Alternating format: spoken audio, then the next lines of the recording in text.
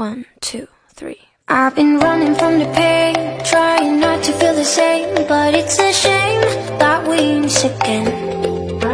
See my confidence shaking and my heart is feeling vacant, so you try to feel it in. You said I could fix the broken.